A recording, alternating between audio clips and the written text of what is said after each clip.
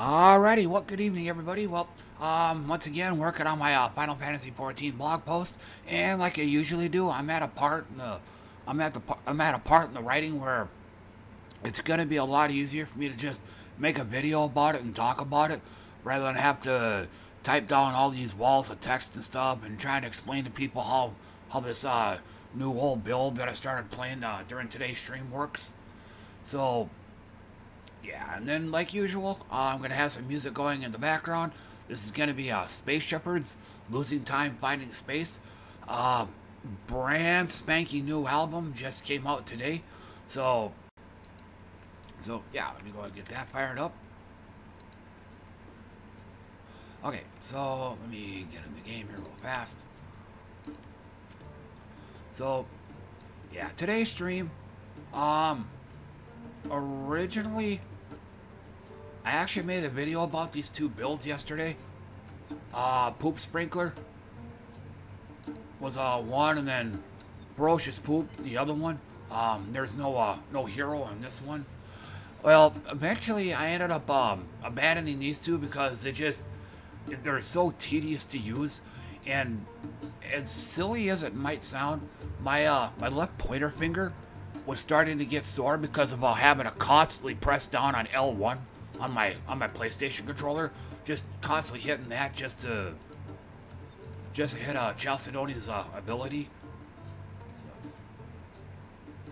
Then uh, eventually I, I switched over to another one I did a video about some uh, some time ago. But yeah, I switched over to this one, and then I went ahead and started playing this this old uh, this old team I think uh, DJ Screw put this together for me, like right around the time that I had started playing this game. I'd probably say like a year ago, if I was to venture a guess. Well, well, I decided to go ahead and just because uh, just having some bad luck, having some bad runs, having to bail from some of the battles from uh, some of the other teams, and then so I just kind of I just said, ah, screw it, I'll just go ahead and throw this one on. A team that I'm not a I don't I don't hate it, but I think there's a it's basically a high risk, high reward team. And uh when I get into the matches, I'll kind of show you how it works. But um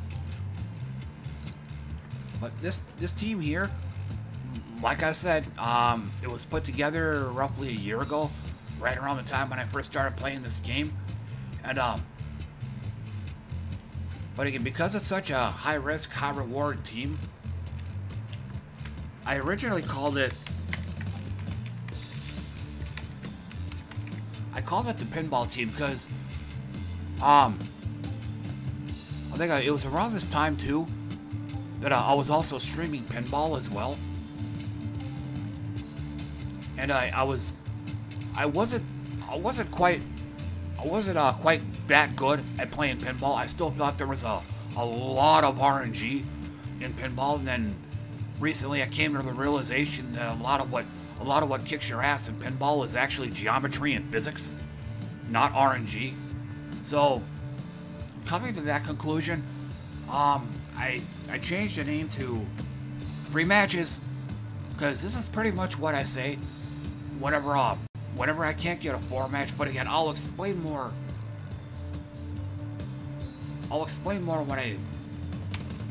Or hell, for those of you that have, uh, for those of you, for those of you that have seen this kind of uh, team before, you'll know exactly what I'm talking about. So, um, I guess I can go over here. Let's let's pick a kingdom that I don't have enough uh, trade stones on. This is what I usually do when map farming. I look for uh, whatever I have the least of and go to that kingdom.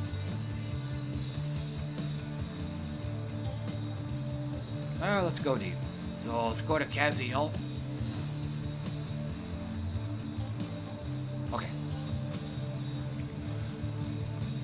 So, so you got all too familiar to you people, I'm pretty sure. Uh, Mountain Crusher blowing up some, uh, blowing up a bunch of brown gems. Elementalist, I believe considered to be the best class ever. Best class in this game. Then Queen Beatrix, same thing.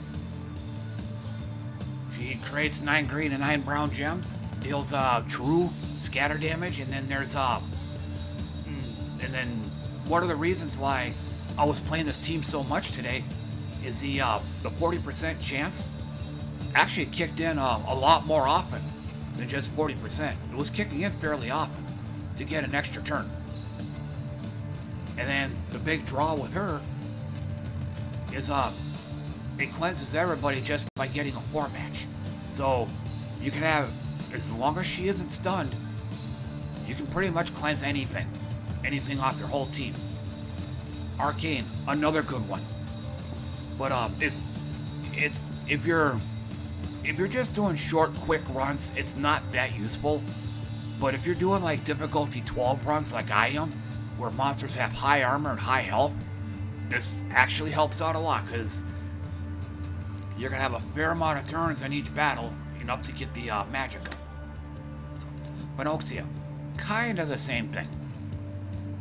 You're getting magic whenever you cast a spell, and her ability is roughly the same thing, create 9 green and blue, and then deals uh, true damage to everybody, to uh, all enemies.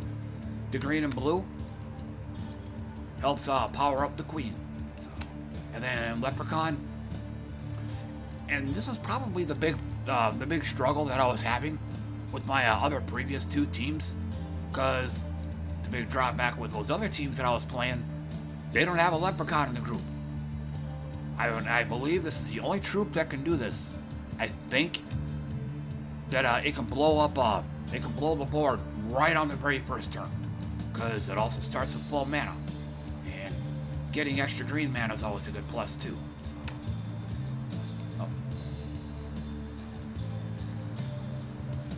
And then, before I get started, I think another reason why I'm playing this team a lot more or playing this team a lot today, I should say, is because of my badges. I got uh, two Medals of Nishan now, so plus 8 magic, and then Medal of Anu, plus 20% starting mana. Um, because back in the day, I don't I don't know the exact number, but I know he wasn't blowing those 17 green gems. So he wasn't he wasn't blowing diddly squat. In fact, you know, now that I think about it, uh, yeah, let me try this.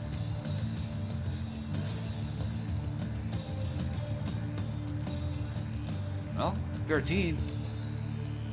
So that might have been something else too. Why I thought there was uh, there was there was so damn much RNG in this team. I had pretty much just started playing Gems of War. So my uh, attribute levels weren't really that high. I'm gonna take a drink of some water here real quick.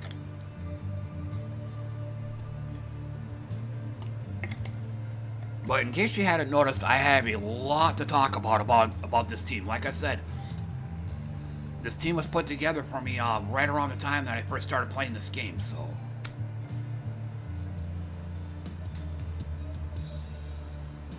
Okay, yeah, and then you're only exploding 27 brown gems. I think it was uh 35 with the medals in there, so only 13, so the the magic ratio must probably like half. So let's go back out here. Let's there we go.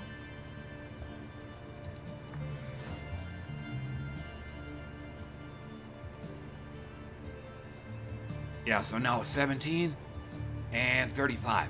So yeah, and and uh, that that's not even to mention uh how much extra damage that uh the Queen of Inoxia are doing. So,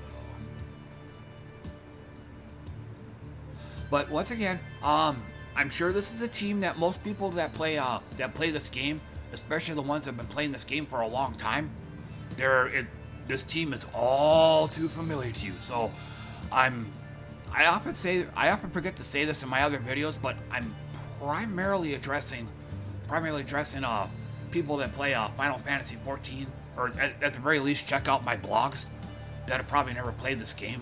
So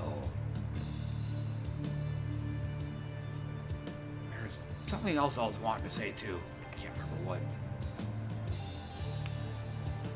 Oh well.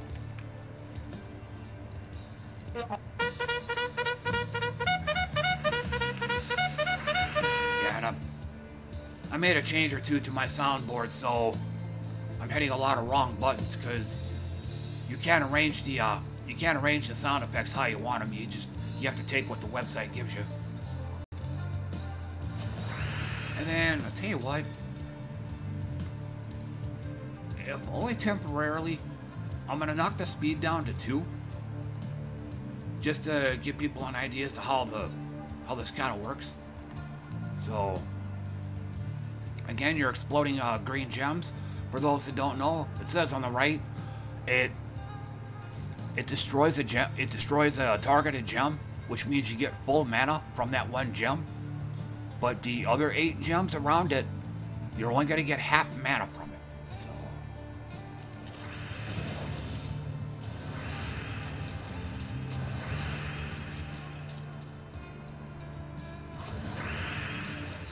So that'll and because because the queen is already up, she's gonna create nine green and nine brown gems. And then once again, I just I I just cast uh I just cast that that or I just cast the leprechaun ability.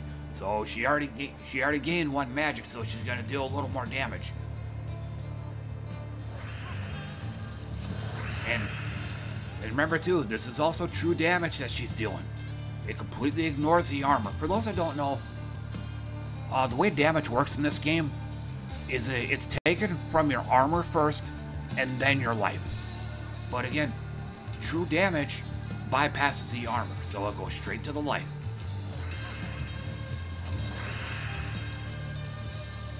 And then Venoxia, same thing. She gains magic every time somebody casts a spell. And then potent. Nope. Free matches. Didn't get a four match out of it, so. And but yeah, this is this this was the team where I first coined the term free matches.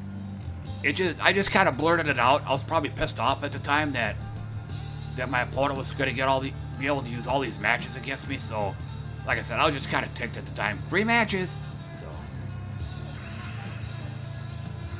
Hey, I got a four match.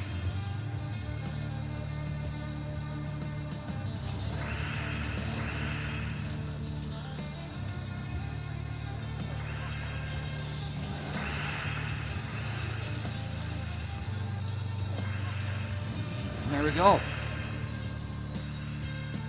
So I'm gonna I'm gonna go ahead and do another, and then I'm gonna I'm gonna I'm gonna go ahead and crank the speed back up to back up to the max.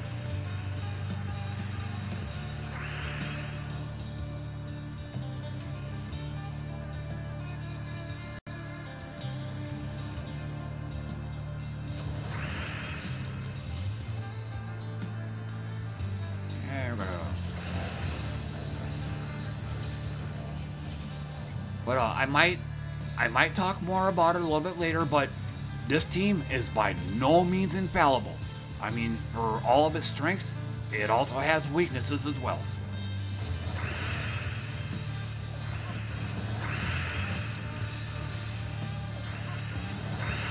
And um, if you're kind of noticing, maybe you've probably noticed this on some of the other videos if you've seen them. Um, one of my favorite things about this game is you can use both a controller. You know, you hold on L1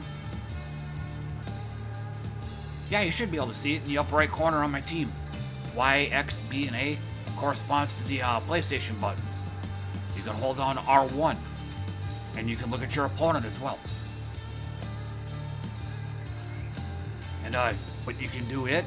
You can use a uh, controller and a mouse interchangeably, like what I'm doing here. So there's not a whole lot of games out there that have this kind of functionality.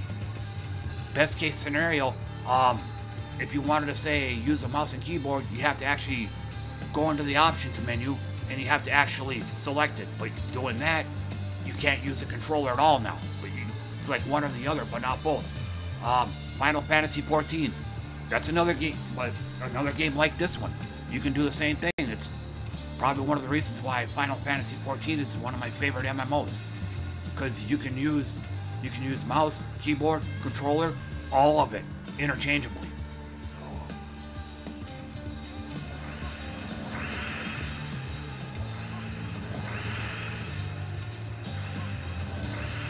Oh. Whoop.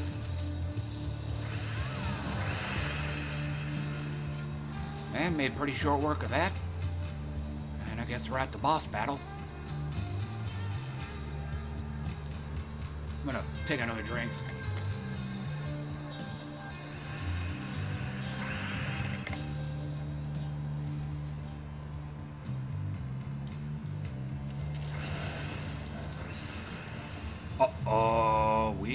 Freeze gems.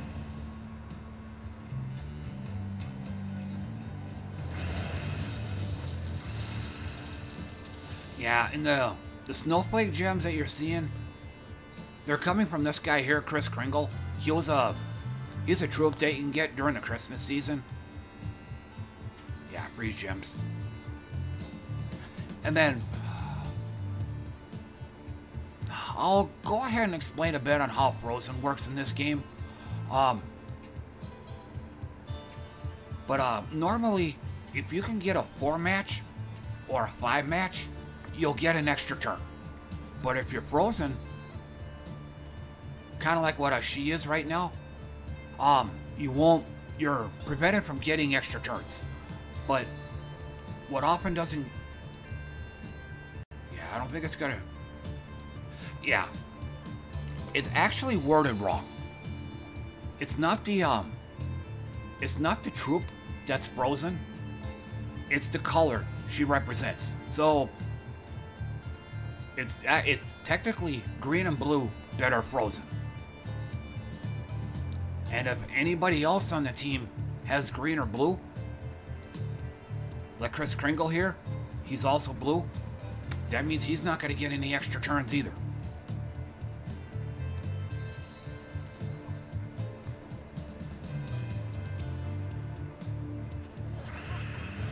Rematches. And once again, why a Queen Beatrix is one of the best troops ever? Royal Honey.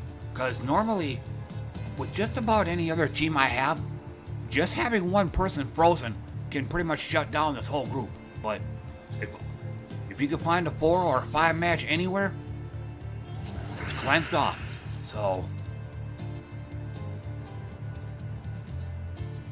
it makes a lot of uh, what I would consider undoable battles doable. Hey, 40% kicked in. Got an extra turn.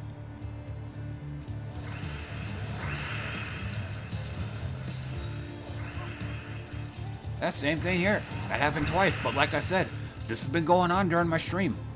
The 40% chance to get an extra turn was actually happening fairly often. Not, I mean, a lot of times it's not always the case.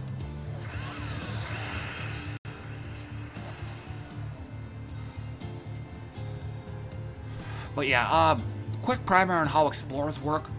Uh, you pick a difficulty, then you fight uh, four explorer battles, followed by a mini boss. Defeat that mini boss and you'll get uh, what are called myth stones. How many you get depends on the difficulty you chose. Like in my case, if you, if you look on the lower left corner, you're gonna get 71 to 75 of them. If you get 100 of them, then you can fight a mythic boss.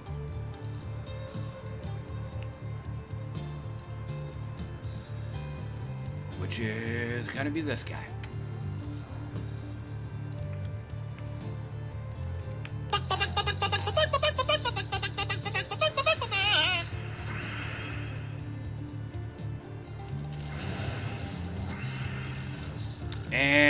One of the weak this is one of the weaknesses, although this is kind of more of a personal preference than anything. If after using Leprechaun, if it doesn't give me enough uh, brown mana, to be able to cast this immediately after, then there's a chance that I might actually just end up bailing out of the run and starting over. But as this here is a boss battle, you don't want to do that because you lose everything. Because uh, you'll automatically end the run. So, but as Queen Bee's up anyway, so we can keep going.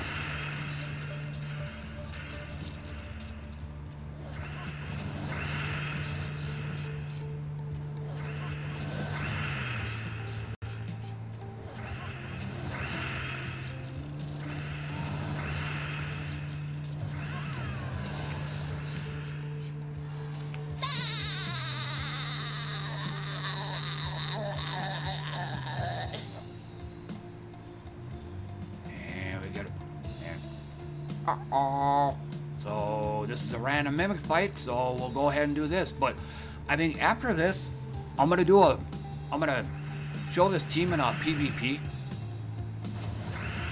which presents a whole host of other new problems, and it'll expose a few more weaknesses that this team has.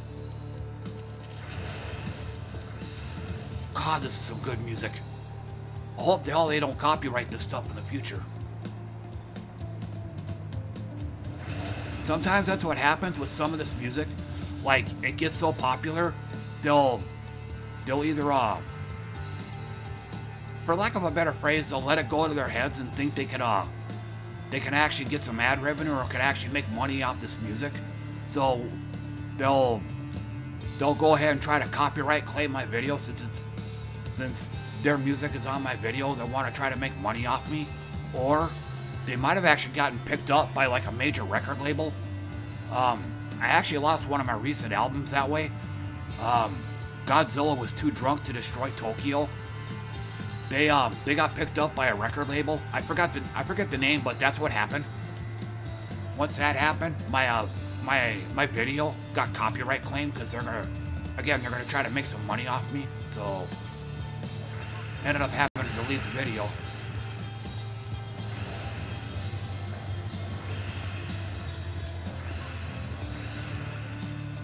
Oh, got lucky again. 40% kicked in.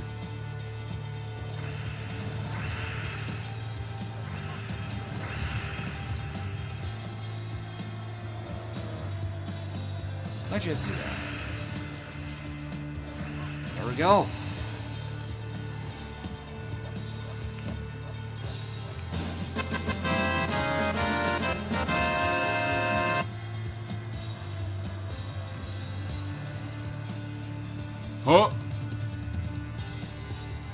Then for these,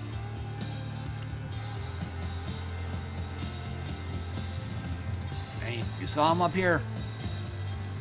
This is what you get when you complete a, uh, you complete one of these uh, explore runs. Now, I'm doing the difficulty 12 ones. They're the highest ones possible. So,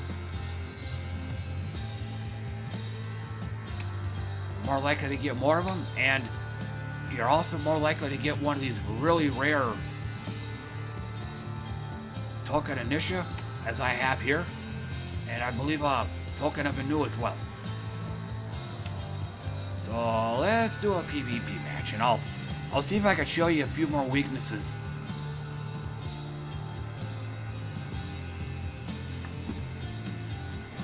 And this is actually one of those uh, one of those classes, Monk, most other uh, teams that I have, I would actually steer clear of this battle because I have no way to deal with uh, deal with snap freeze.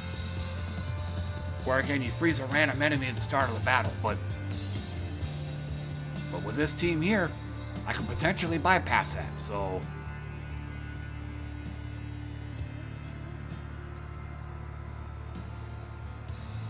So let's give this one a try. But when it comes to PvP, I've said this in other uh, videos as well. Um, when it looks like the battle's not going to go my way, I run away. So, no point in trying to stick it out. These team, these teams here are designed to kill you in, in as early as one turn. So, far more powerful than what you saw in those previous battles. And yeah, this is actually one of those situations where, like I said earlier, in in the PVE content that I was doing, I don't have a brown match anywhere, so normally I would have just bailed out of the battle. And, or I should have said just done a do-over. But not in PvP. If I bail, it counts as a loss. So...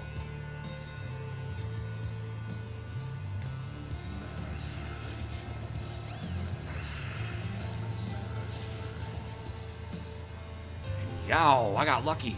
So, and if you can see by the uh, the the sun rays on the top troop here, she's blessed. That means she is immune to debuffs. Um, I think until she casts her next ability.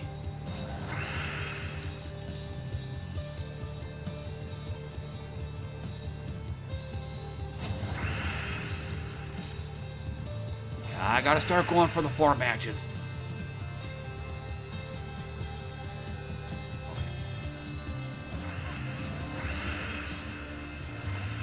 Three matches.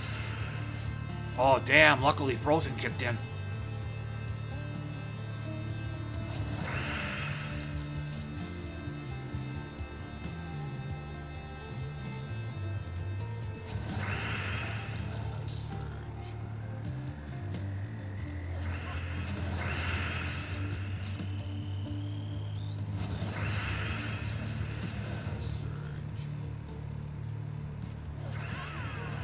Three So, because my positions have been switched over here, um, and because of my muscle memory from you, know, from using a controller so much, I have to go with the mouse now and manually click them. Otherwise, I'll end up, uh, again, because they're, um, the positions are off kilter now, I have this nasty habit of casting the wrong ability, because I'm used to, I'm used to Queen Beatrix, being where Mountain Crusher is right now. So you get the idea. So, so once again, I gotta hit these manually now. And then, um, one weakness, I'll have to wait. Whoa.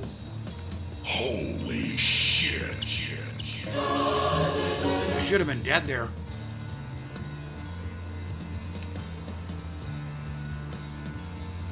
But yeah, if you can see by the flashing shield here, the flashing armor, she has a barrier up. That uh, nullifies all damage from one attack. So, which,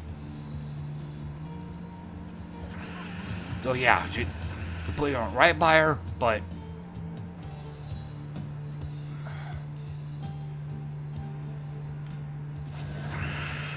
so let's go ahead and put that back on her.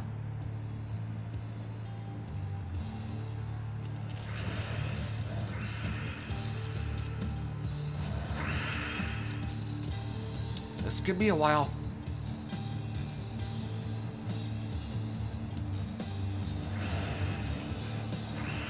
Okay, that should do it.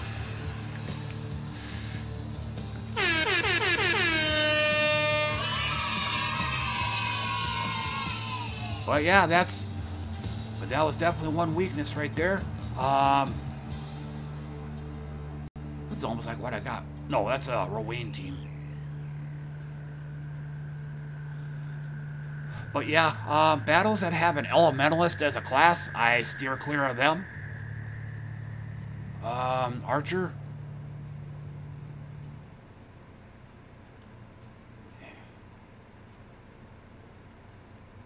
Oh, I'm in the, um, in PvP, you have a choice between ranked or casual. Ranked, as you'd probably expect, it actually count, or goes against your rating.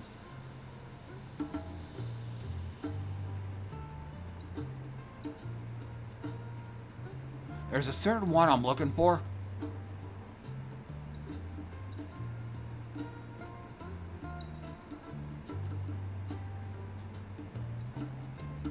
kind of looking for something like a, a Tide Caller. Um, I think Frost Mage, maybe. Yeah, this is, um... Yeah, the Firebomb teams. This is where, this is where I go when I'm just, I'm on a losing streak and I just can't win any other match. Because all you have to do is be able to survive, is be able to survive the explosions.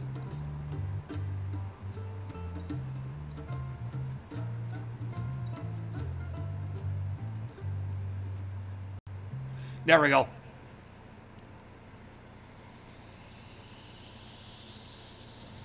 In fact, I think I, during my stream, I actually fought this team.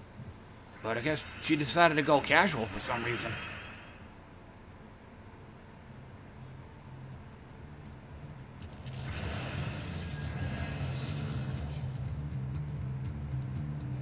And this here would be another situation where if, it were if this were PvE, I'd have re-racked this whole, or I'd have restarted this battle, but it's PvP, so can't.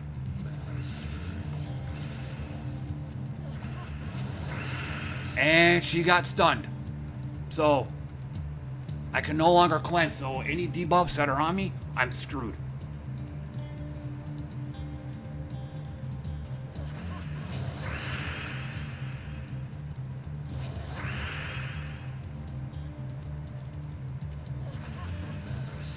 Oh, 40% kicked in again.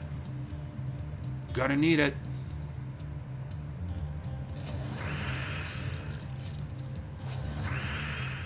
Yeah, I'm a bit nervous right now. Okay, got it, I got it, I got it. But luckily it never went off. Okay, I think we got one here. Uh, it's an elementalist, but let me, uh... The submerge, the submerge buff, that also shuts down my build as well. Whereas, uh, submerge meaning you, um, you avoid damage, that, uh, damage, it kind of says on the right, avoid all damage effects targeting the whole team. Which is what I got. True scatter damage, it hits all enemies, so if she got that up, it's it, the battle's pretty much a no-go. But um, the previous one, the previous battle, I was actually trying to show that. Let me go to battle log.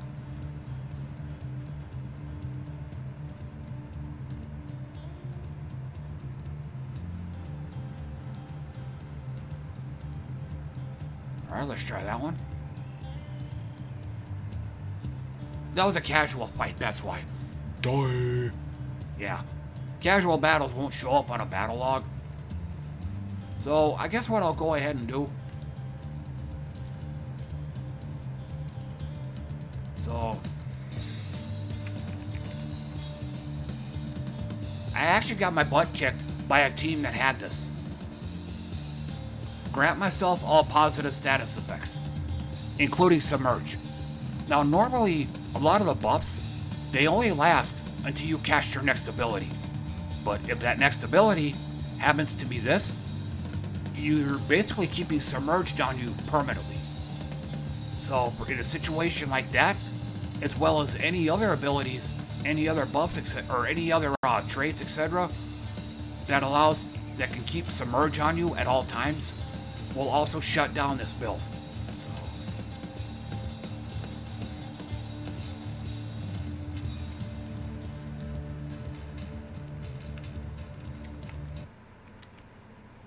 Well, that's a pretty good long video. Went about 30, 35 minutes. But anyway, um, that's that's gonna do it. Um, I just wanted to want to showcase it, showcase this uh, new old team that I had. Um, and I'll most likely probably playing this one here more often. So, but otherwise, hey, thanks for thanks for watching, everybody. I appreciate that, and I'll see you all next time. Bye for now.